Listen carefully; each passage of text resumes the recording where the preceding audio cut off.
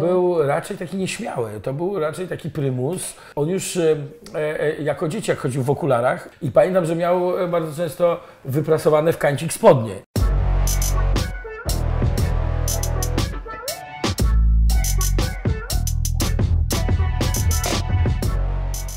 W niedzielę 13 stycznia na oczach tysięcy osób Paweł Adamowicz, prezydent Gdańska, został trzykrotnie pchnięty nożem.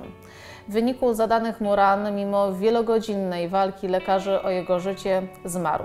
Dzisiaj ze mną jest Krzysztof Skiba z zespołu Big Cyc, szkolny kolega Pawła Adamowicza.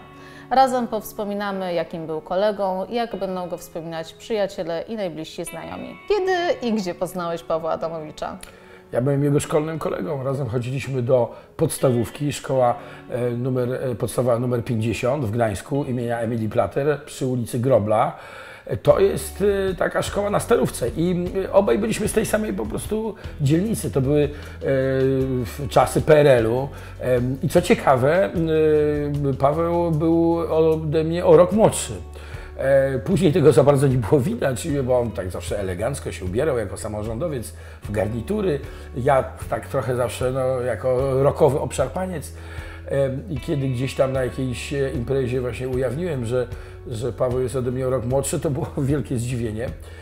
Z podstawówki, on, także on nie chodził do mojej klasy, to był ro, ro, rocznik niżej i em, tak, pamiętam go tam po prostu z, bardziej tak z przerw, z jakichś takich historii. Bo to były czasy podwórkowe, dzieciaki Podwórkowe, rozmawiały ze tak. sobą, prawda? On od na początku boisku. był raczej taki nieśmiały. To był raczej taki prymus, dobrze uczący się. To ja raczej byłem takim urwisem i szkolnym rozrabiaką. A on y, to był taki dobrze uczący się, sprawujący. Zawsze pamiętam na przykład jego e, ubiór, bo to tak po, stroju też widać. On już e, e, jako dzieciak chodził w okularach i to zawsze okulary nadają taki trochę, wiesz, obraz, wizerunek takiego, takiego kujona, takiego pilnego właśnie ucznia. I pamiętam, że miał bardzo często wyprasowane w kancik spodnie. Nie wiem, czy wiesz, co to są w kancik, No, tak właśnie.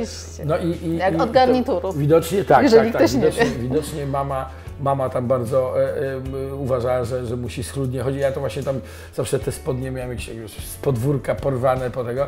Ale później taka, taka głębsza znajomość, taka bliższa znajomość to, była, to był oczywiście czas liceum. Razem chodziliśmy też do takiego dosyć znanego liceum w Gdańsku, liceum numer jeden, e, popularnie zwane, zwane jest jedynką. I ta jedynka gdańska to jest takie dosyć ciekawe liceum, bo ono jest bardzo blisko Stoczni Gdańskiej.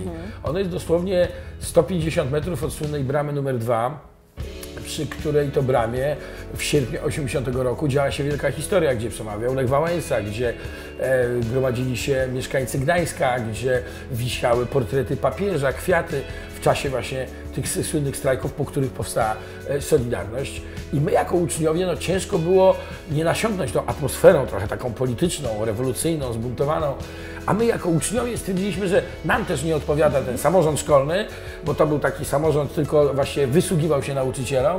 E, I tak, tak mówiono, że to jest samorząd od wycieczek jakichś szkolnych, od akademii i od kapci, bo wtedy był jakiś straszny problem w PRL-u zawsze, czy, czy zmieniamy, kapcie, czy tak. trzeba nosić kapcie, czy zmieniać, czy nie zmieniać, jak z tymi kapciami i tak dalej. I samorząd to było od załatwiania tych, tych spraw. I myśmy to nazwali parlament uczniowski. Razem z e, Pawłem w tym parlamencie e, działaliśmy. E, Co więcej, myśmy mieli też taki temperament troszkę dziennikarski. Chcieliśmy stworzyć jakieś swoje forum. Myśmy jako uczniowie, jako parlament uczniowski przechwycili dwie gabloty.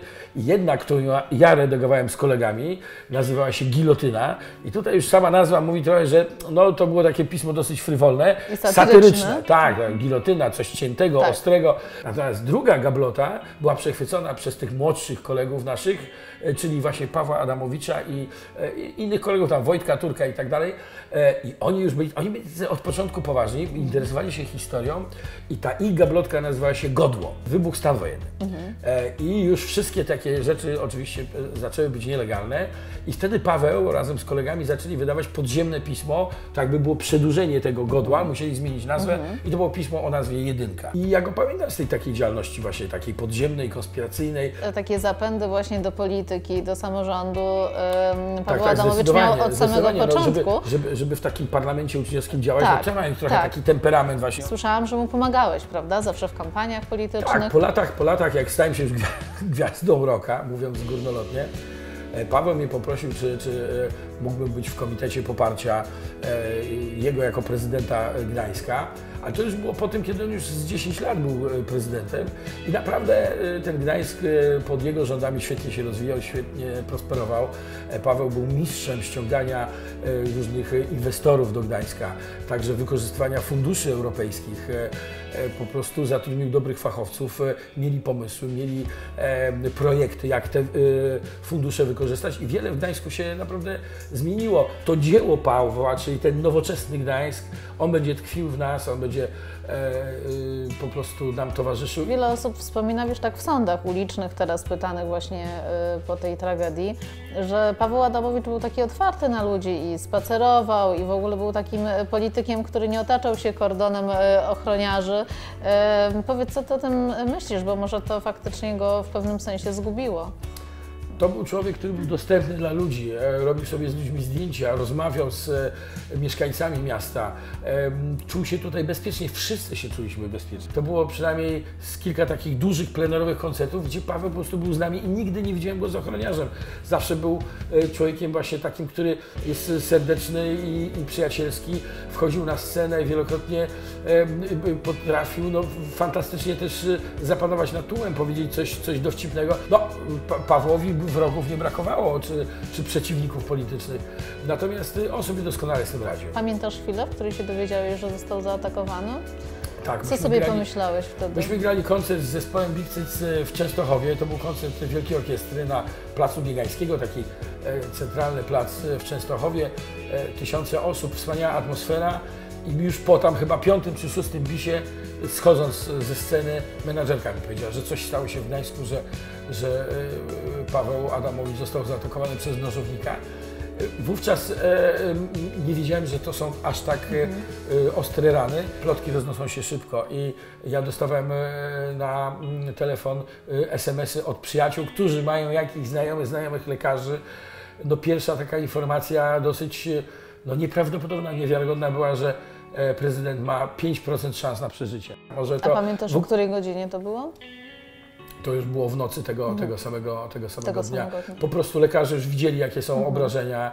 E, on stracił bardzo dużo krwi, przetoczono mu 20 litrów. Można by zadać sobie pytanie, czy osobnik, który miesiąc e, wcześniej wyszedł z więzienia, skąd taka umiejętność posługiwania się nożem, e, zachowywał się jak przeszkolony przez kogoś komandos. Za szybko zrobiono z niego wariata. Zwykle y, można stwierdzić, czy ktoś jest chory psychicznie y, po kilkumiesięcznych y, obserwacjach. On doskonale wiedział, jakby znał scenariusz e, tego koncertu. Zabili człowieka, e, samorządowca, człowieka, który kochał to miasto, w jego ukochanym mieście e, zaszteletowano go na oczach e, mieszkańców historia jakaś zupełnie filmowa. Poza tym y, y, wbito mu nóż e, e, w serce dokładnie w momencie, kiedy on skończył mówić, że Gdańsk jest piękny, Gdańsk jest szczodry, że on kocha orkiestrę i Pamiętam ten cytat, e, że należy dzielić się dobrocią. Chciałbym, żeby zmieniło to wiele w myśleniu Polaków i po jednej i po drugiej stronie barykady i w jednym i drugim obozie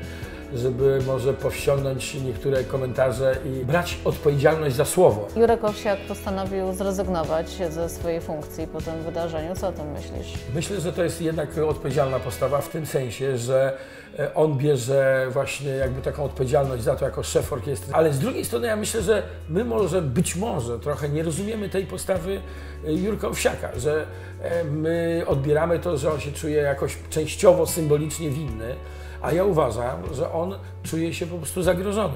Mhm. Na konferencji prasowej mówił o tym, że wielokrotnie miał pogróżki, wielokrotnie grożono mu śmiercią, e, e, zgłaszał tę sprawę na policję i policja z tym nic nie robiła.